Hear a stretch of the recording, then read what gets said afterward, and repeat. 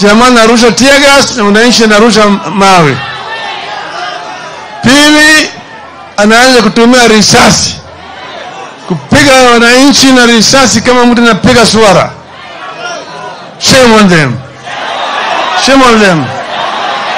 Sasa tuliwaambia, tuliwaelimisha ya kwamba kuna fujo mara mbili au kuna nguvu mara mbili. There are two types of violence. There's what is called oppressive violence and there's what is called defensive violence.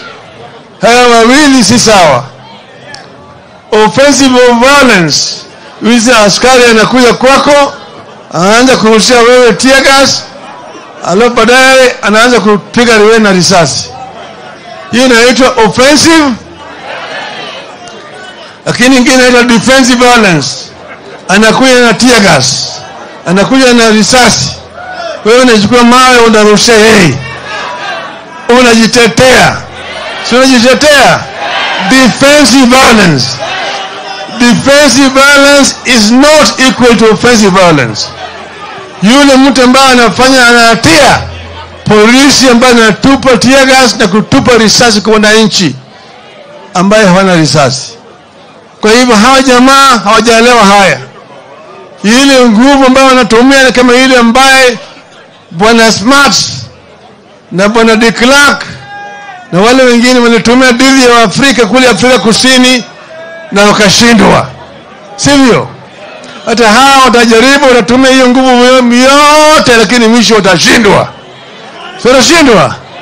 Shetani, shetani, shetani. Sisi tulisema tunataka haki. Pili, tunasema tunataka kuona haki kwa upande wa uchaguzi, electoral justice, electoral electoral. Tatu, tukasema tunataka ku, vyama viheshimiwe, respect for multiparty democracy, vyama vya siasa mpaka viheshimiwe. Wewe kama umelichaguliwa na chama cha ODM, wewe umefunga ndoa na ODM kwa miaka mitano utabaki ndani ya ODM, utatetea sheria ya ODM, utafuta amri ya ODM, mwongozi ya ODM mpaka baada ya miaka mitano, sio? Manake wanachungwa ndio walikuchagua wewe. Kama ulichaguliwa kama mwana Wiper, wewe ni mwana Wiper. Kama ulichaguliwa kama mwana Jubilee, we ni Jubilee. Kama ulichaguliwa kama UDA, we ni UDA. Ford Kenya, Ford Kenya kama ulichaguliwa kama ANC we ni ANC. Umefunga ndoa kwa miaka mitano mpaka ufuate mwongozo na sheria ya hiyo chama. Lakini ikiwa kama wewe huko katika bunge au wewe ni MCA na wewe pale chama imetoa amri, imesema hii hii mswada inakuja kwa bunge hii maneno inakuja kwa bunge, uchaguzi kwa bunge. Sisi kama wana ODM tutapiga namna hii. Wewe huna chaguo lako mpaka upige vile ODM inataka. Hiyo ninafanyika hata katika House of Commons kule Ulaya, kule Congress kule Marekani, kila mahali ambayo multi-party democracy, you must follow the party whip. Lakini kama wewe chama inasema hii mswada tunapinga, wewe unakwenda kuunga mkono, wewe umevunja sheria ya chama, unakuwa the whipped. Unafanya nini? Unafanya nini?